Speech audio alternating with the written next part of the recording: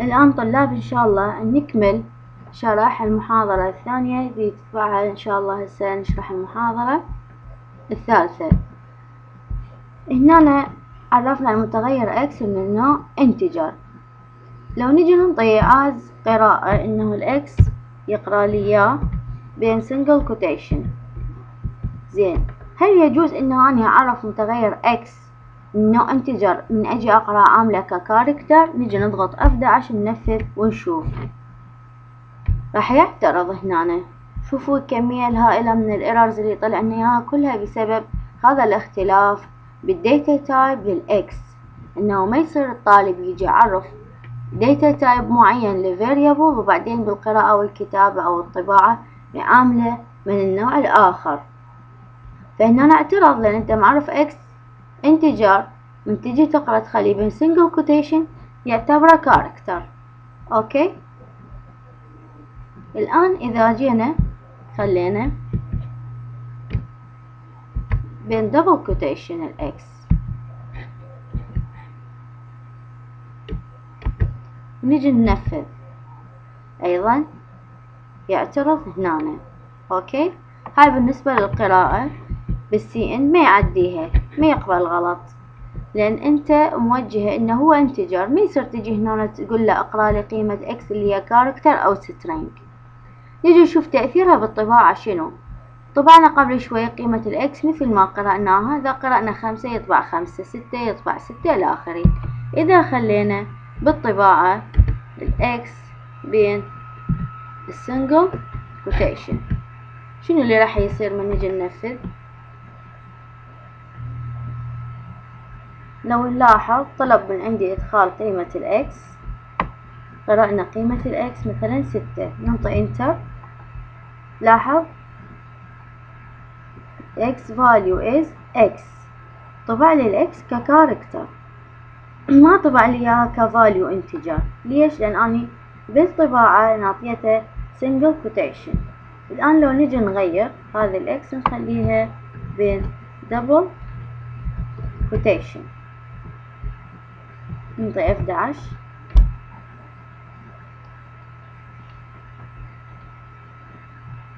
شوف بالتنفيذ راح يطلب من عندنا إدخال قيمة ال x نفرض إنه هي سبعة ننطي enter راح يطبع لي إياها ال x هي كل شي بين ال double quotation يطبع لي إياه نفسه.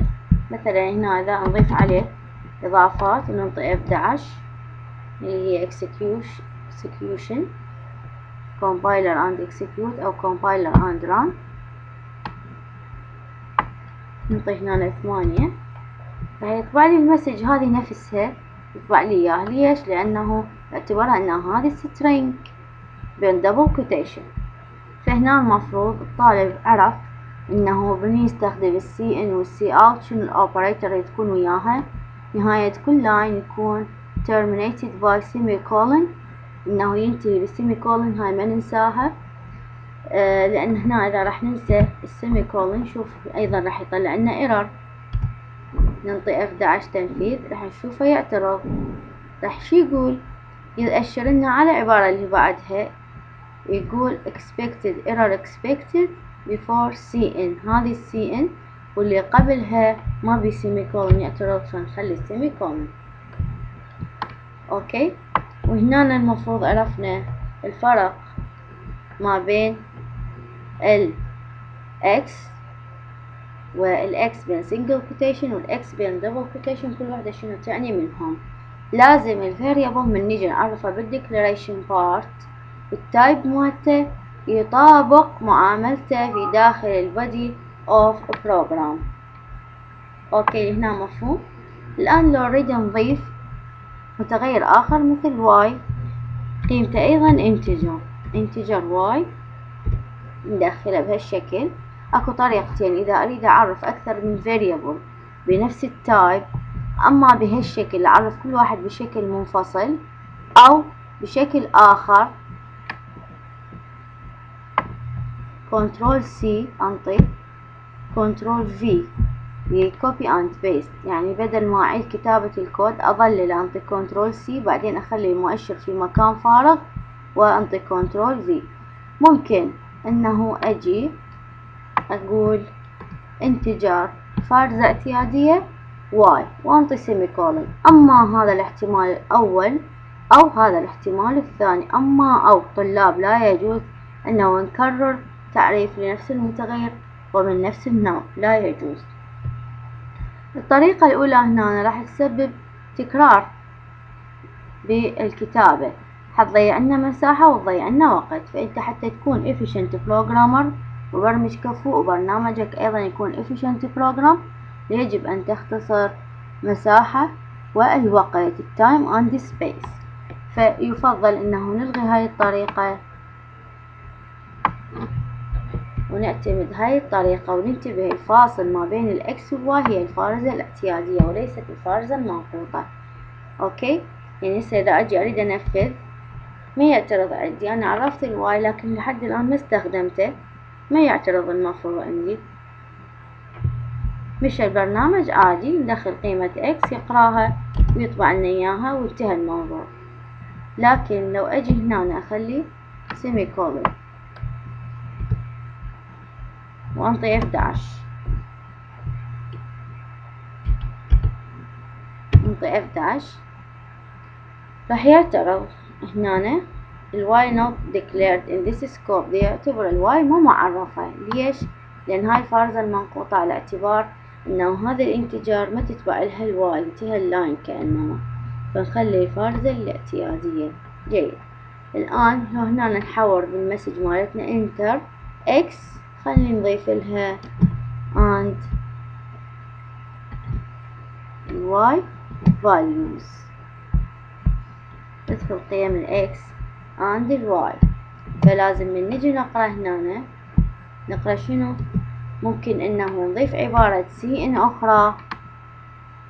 هذا نعطيه copy control c وننزل سطر control v ممكن هنا نخلي y فيكون عبارة قراءة ل x وعبارة قراءة لل y أو ممكن أن ندمج قراءة أكثر من متغير لنفس ال statement بهذا الشكل وهاي تلغي العبارة. جيد؟ ممكن أنا أضيف هنا أيضا operator أقرأ مثلا z إلى آخره. زين؟ بال cout ال x value is ممكن أنا نضيف هنا ال x ونكرر هذا الجزء بس على ال y نحوله على ال y. control c control v. هسه ال x value خلينا space وطبعنا ال x. نيجي نضيف ال operator الفاصلة نقول ال y value is. نعطي space وهنا ندخل قيمة ال y. الآن ننفذ البرنامج.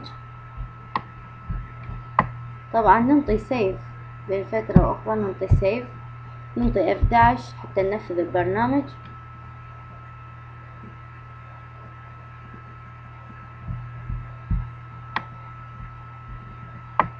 الآن يطلب من عندي قيمة x and y. جيد. أربعة ال x وال y ستة. فيجي يطبع لي the value is 4 وال y value is 6 هنا الفور وال y. هنا نقدر نخلي بيناتهم بالبرنامج أيضا.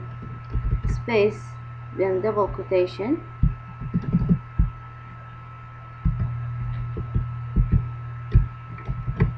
هذا ال operator بهالشكل. حتى يترتب عندنا الطباعة.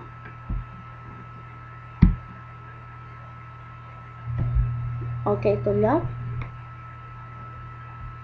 الآن إذا نريد ننفذ معادلة رياضية اللي هي z يساوي x زائد y. okay؟ نجي ننفذ. أريد ننفذ إنه إيجاد قيمة اكتب برنامج لايجاد قيمة z اللي هي x زائدا y. كتبنا البرنامج بهالشكل. هسه لو نجي ننفذ ننطي F11 راح نشوف شنو الخطأ شنو النقص اللي موجود عندنا أول شغلة راح يعترض عليها إنه ال z ما معرفة عندي. okay؟ طيب. هسه ال z هي حاصل جمع الإكس زائد الواي الإكس هي إنتجر والواي إنتجر. إنتجر زائد إنتجر دائما شو يكون الناتج؟ يكون integer. فممكن أجي direct أضيف قيمة ال z بهذا المكان. okay؟ زين. هسه لو نجي ننفذ مرة أخرى نشوف شنو اللي راح يتغير عندنا من خلينا ال z هل راح يغير شي بالبرنامج هاي المعادلة؟ راح تغير شي؟ خلينا نجي نشوف.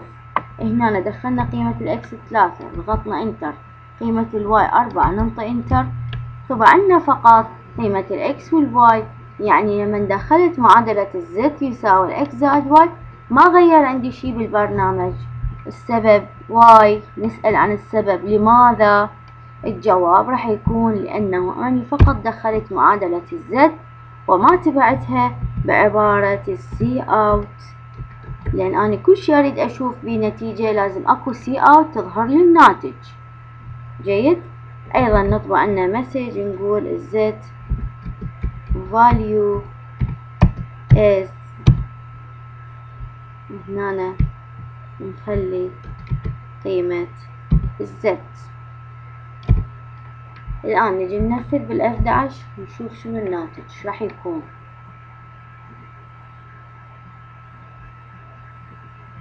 نقرأ قيمة الإكس. ثلاثة enter. قيمة ال y أربعة enter. قد ظهرت لي قيمة ال z. ال z value is 7 بس كلها ظهرت على line واحد. إذا هنا إيش نحتاج العبارة اللي قبلها؟ نحتاج إنه نضيف endl. حتى يكون الشغل مرتب. okay؟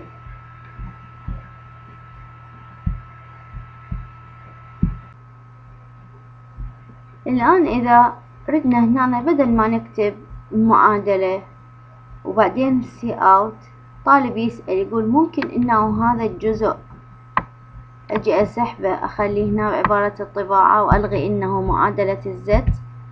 هذه تلغي. خلنا نجي نشوف. يريد إنه هو عنده قيمة x و y يجي direct تقول ال z value هي ال x زائد ال y طبعا هنا نضيف أيضا space على مود يصير عبارة الطباعة مرتبة. نجي ننفذ نعطي save نخزن وننفذ بال F11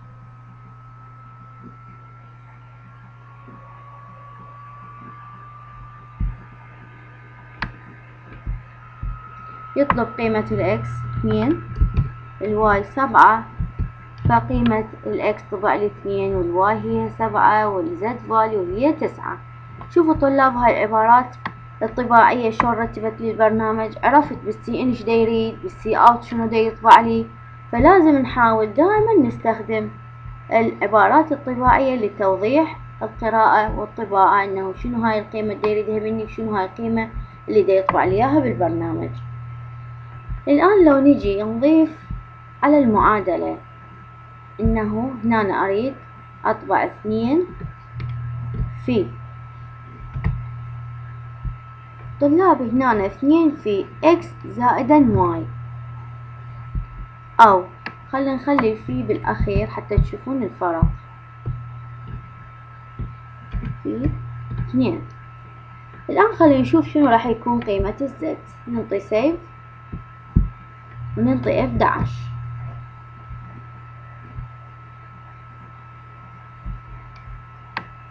قيمة ال X and Y. ننطي قيمة ال X ثلاثة. ال Y خلينا نقول اثنين. أو ننطيها مغايرة سبعة ننطي enter شوفي هنا إيش سوالي طلع لي قيمة ال Z سبعتعش. منين جت سبعتعش؟ إذا أنا عندي ال X ثلاثة. وعندي ال Y إيش قد؟ سبعة. زين ثلاثة وسبعة. ثلاثة زائد سبعة شقد عشرة. في اثنين عشرين. فننتبه إنه هو إيش طلع لي؟ ال Y. في اثنين اللي هي سبعة في اثنين. بالبداية نفذ لي نفذ لي ال Y في اثنين اللي هي سبعة في اثنين أربعة عشر زائد الثلاثة مالت ال X شقد طلع لي؟ ال Z طلع لي سبعة عشر فهذا هنا راح ندخل ضمن موضوع البرايورتي أسبقيات العمليات الحسابية. لازم تنتبهون العمليات الحسابية خصوصا في الأسئلة اللي بها معادلات رياضية ننتبه إذا كانت بها أقواس أو بدون أقواس. فهنا نلاحظ أسبقية العملية الحسابية نفذ للضرب ومن ثم الجمع. أعلى أسبقية طلاب هي الباور الأس وبعدين أدي يجي ضرب والقسمة بنفس المستوى من اليسار إلى اليمين. يعني إذا عندي معادلة ضرب وقسمة منين تبدي؟ تشوف من اليسار من هي البادية أول الضرب لو القسمة هي اللي تتنفذ أول. هاي في حال إنه ما عندي أقواس. وبعدين تجيني الجمع والطرح بنفس المستوى من الأسبقية بدءا من جهة اليسار. فهنا نشوف بدون أقواس طلع لي الناتج إيش قد لل Z سبعتاش اللي هو سبعة. في اثنين أربعتاش زائد ثلاثة يساوي سبعتاش هاي دائما أكو حزورات تنزل على ال Face يعطيك معادلة رياضية ويقول إيش قد الناتج. أكو ناس هواية ما عندهم علم بأسبقيات العمليات الحسابية فيبدأ بطريقة الاعتيادية من اليسار إنه ال X زائد Y في اثنين direct فيطلع الناتج مو صحيح. هسه لو نجرب نخلي ال X وال Y.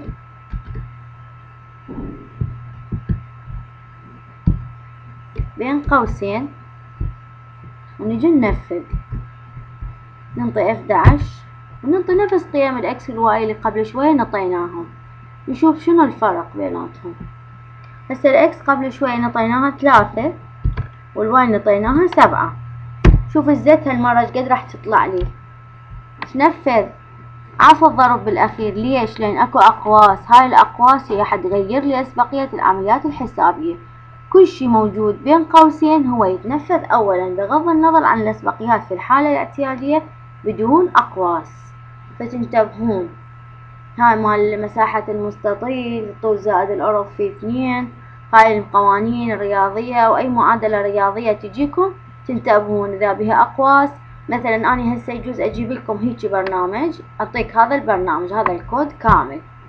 أقول للطلاب نفذ هذا البرنامج وانطيني شنو ال output اللي راح يكون لما قيمة X ثلاثة وقيمة Y سبعة. فلازم الطالب يجي ينفذ يقرأ قيم ال X وال Y يجي ينفذ المعادلة لازم يعرف إنه أي عملية رياضية راح يتم تنفيذها بالأول.